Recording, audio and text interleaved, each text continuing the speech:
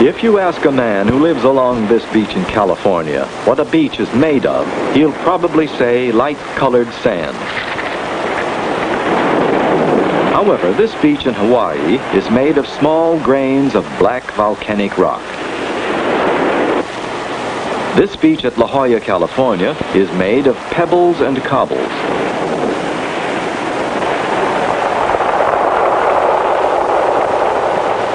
In southern Florida, the beaches are composed mostly of small bits of seashells.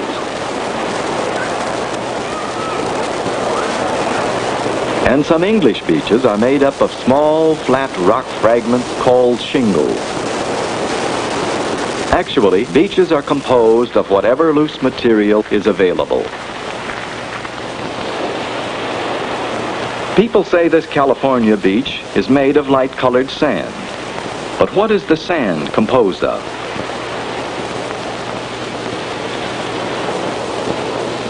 Tiny grains of quartz and feldspar, the two most common minerals found in solid rock. Where could the billions of grains of minerals that make up this beach have come from? And how did they get here? All along this coast there are streams that flow down to the beaches, and when a stream is dry, we can see that its bed is actually a trail of sand. If we go up one of these trails, we should be able to see where the sand comes from. Up in the mountains, we come to a place where the stream flows over solid rock.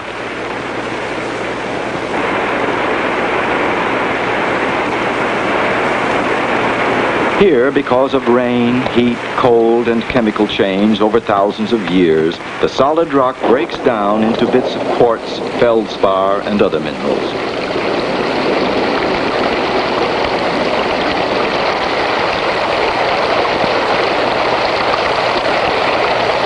Soon the rock debris is washed into a stream and is on its way to the ocean.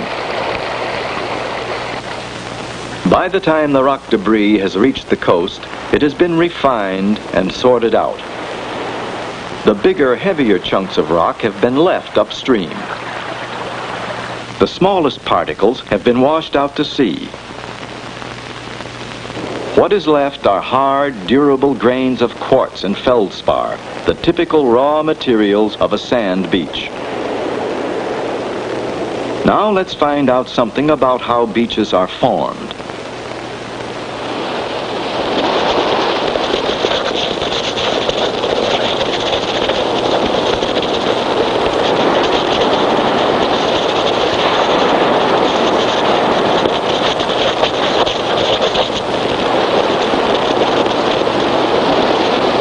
Anyone who has built a sand castle below the high tide line knows something about the processes that shape beaches.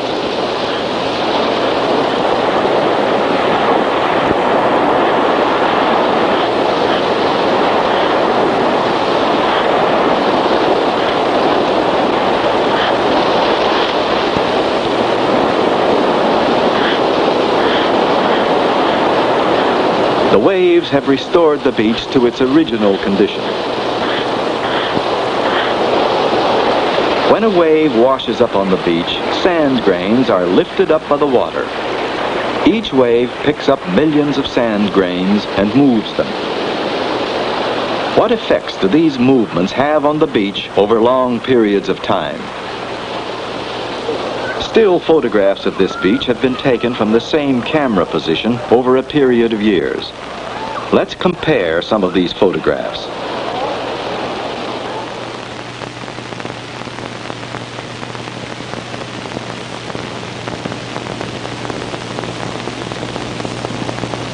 The sand comes and goes according to the season. At the end of a summer, the beach is piled high. At the end of a winter, the sand is gone.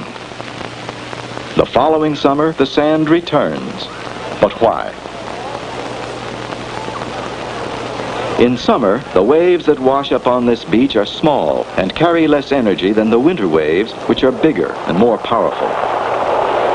Such seasonal changes in wave size may be the cause of the seasonal changes in the beach. Let's check this idea. This is a model beach in a wave tank. We'll be able to make waves of different kinds in the tank and see what effect they have on the beach. First, we'll make some small waves, the kind that are most common in summer.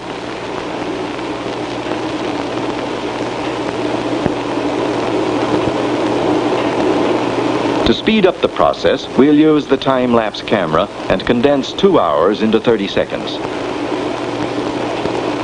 The small summer waves push the sand toward the shore in the form of migrating sandbars.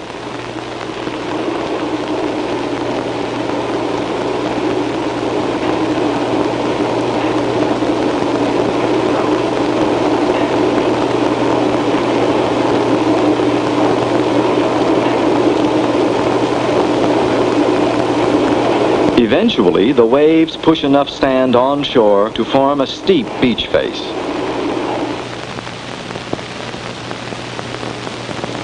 Now watch what happens when we make bigger waves, the kind that strike the beach in winter.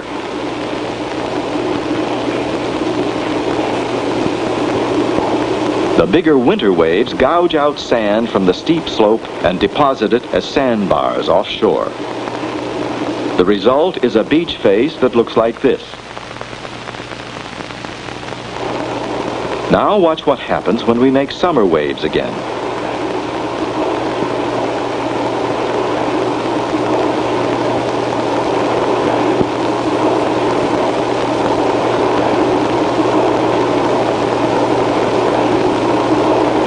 The sand that was taken away from the slope by the big waves is put back again by the smaller waves. In other words, the sand moves back and forth between the exposed beach face and the underwater part of the beach slope.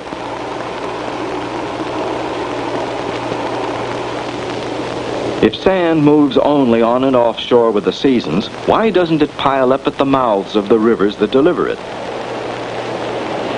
Why does it form into beaches that stretch for hundreds of miles down the coast? You may have noticed that waves usually approach the coast at an angle, not straight on. The reason for this is that most waves are created by storm winds blowing far out at sea. If a storm occurred any place except here, say in one of these areas, then the waves created by the storm and traveling out from the storm area would approach the beach at an angle, not straight on, regardless of which way the beach is facing. Today, the waves are coming in from the northwest.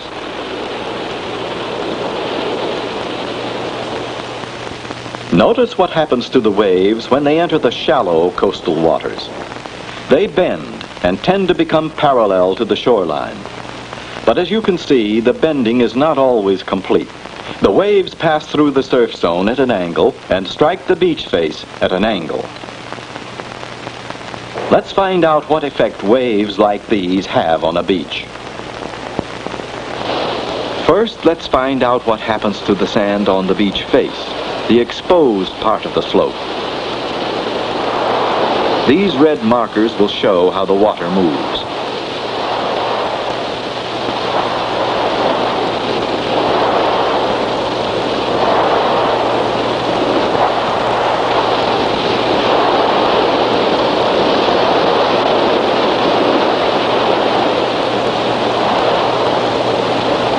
Let's watch the red markers again, this time tracing their movement along the beach face.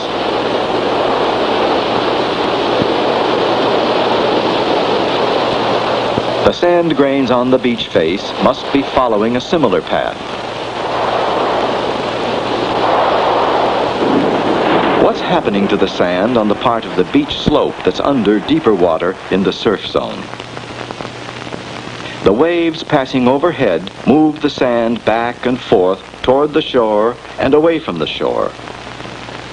But are these the only directions in which the water is moving? Watch.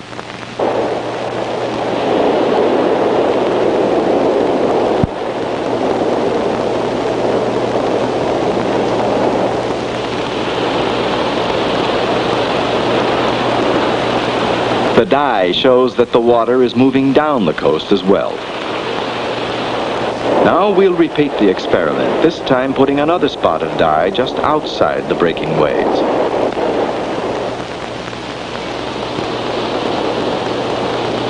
The second spot of dye shows that the water outside the breaking waves hardly moves at all, while the dye within the surf zone moves rapidly down coast.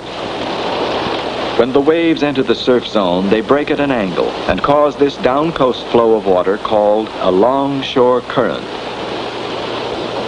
Now let's see what this current does to the sand in the surf zone. The sand being moved onshore and offshore by the waves is also being moved down coast to the left by the longshore current.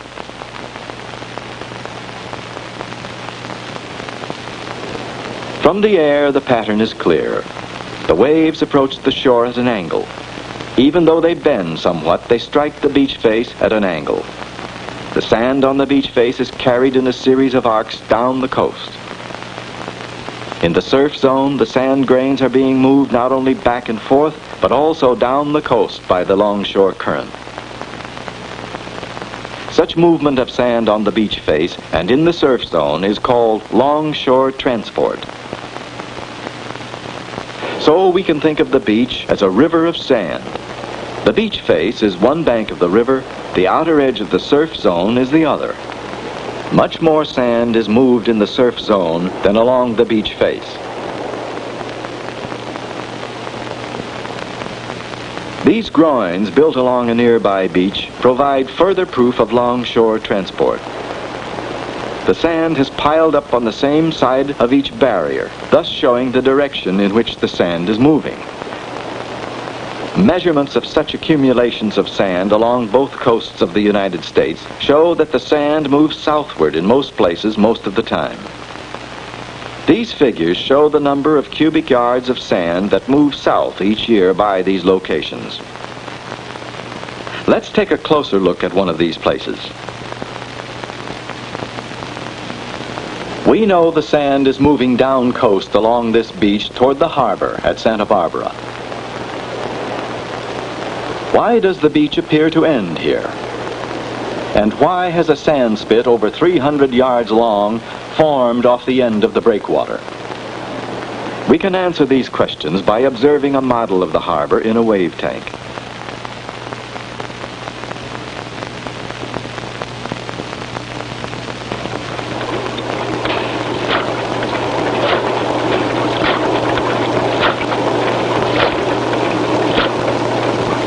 Waves strike the breakwater at an angle and bend around its end into the harbor. Now we'll add some sand and create a beach.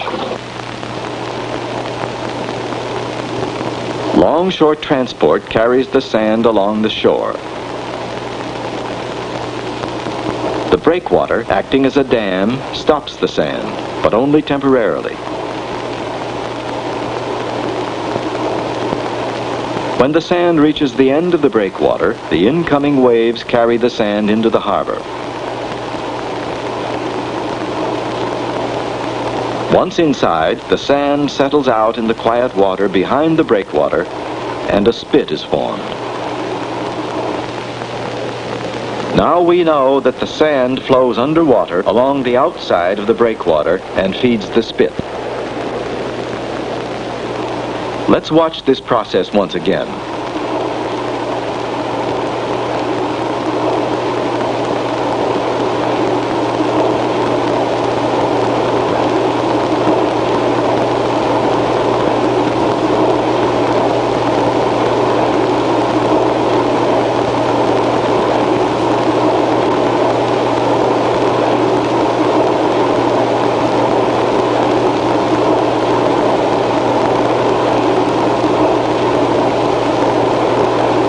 In time, the sand closes off the harbor.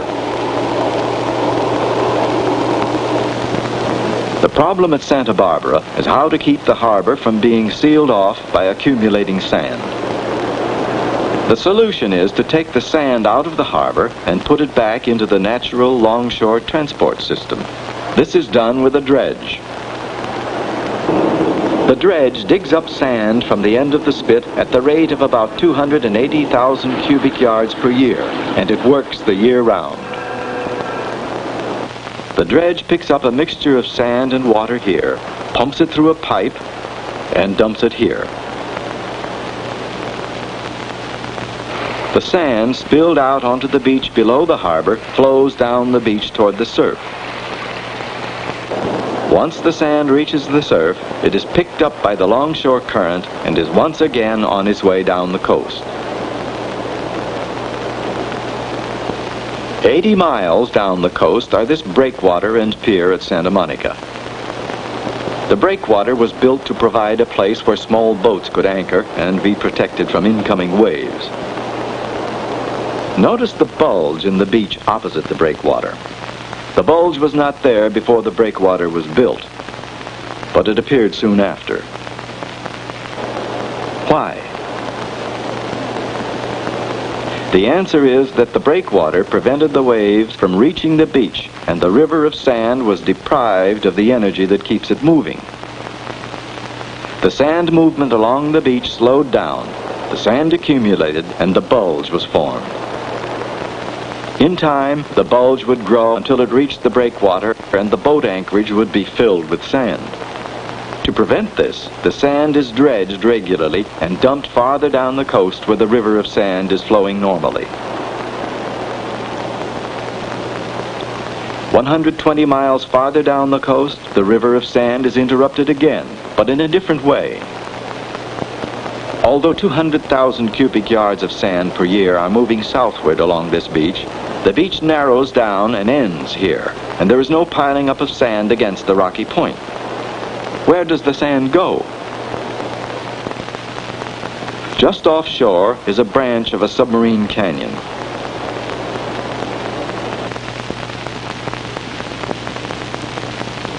The canyon is about 20 miles long and extends to a depth of more than 3,000 feet.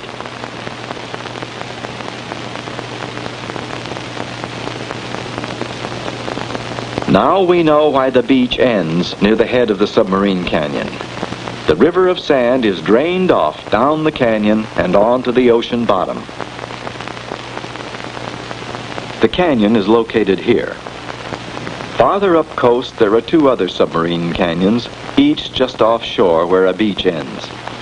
A system of rivers feeds sand to each of the beaches. The sand is carried down the rivers and is moved southward along the beaches. The beaches end where the sand is drained off down the underwater canyons. What happens when a dam is built across one of the rivers? The sand that would normally move downriver to the beaches is trapped. The reservoir has to be drained periodically and the accumulated sand removed.